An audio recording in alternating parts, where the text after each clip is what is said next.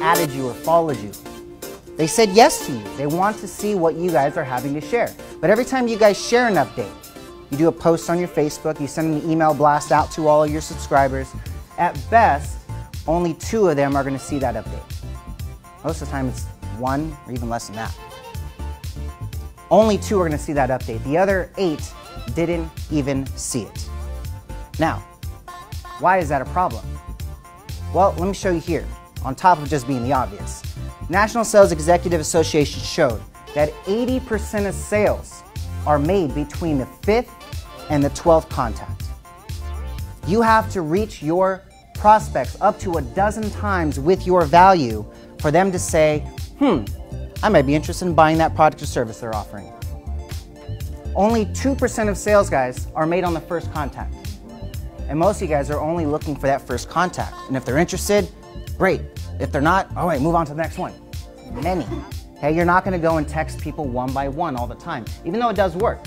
A lot of people, how many people received a text message from me to get invited here?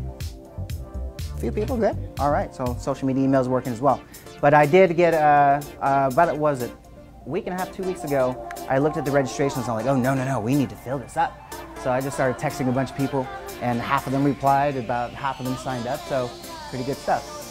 But you want to do one to many. This is called SMS broadcasting, okay?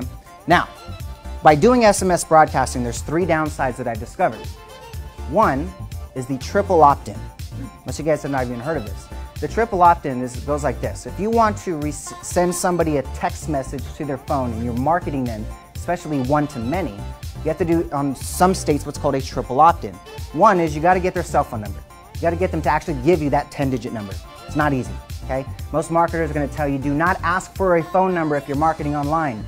You'll get like a tenth of the submissions. People don't want to give their cell. And he is not getting hired for speaking engagements. He's like, man, I, I, I need help getting out there. People think I'm on my deathbed and I just finished a battle with cancer and I need to get out into the speaking world again. Again, I have 500,000 fans on Facebook. We want to get to a million and I need to just be traveling the world speaking again. I was like, all right, let's put together an app that does one, motivates people. You're a motivational speaker. Let's take all of your favorite speeches, put some background music to it, splice them up, and now you open up the app and it starts talking.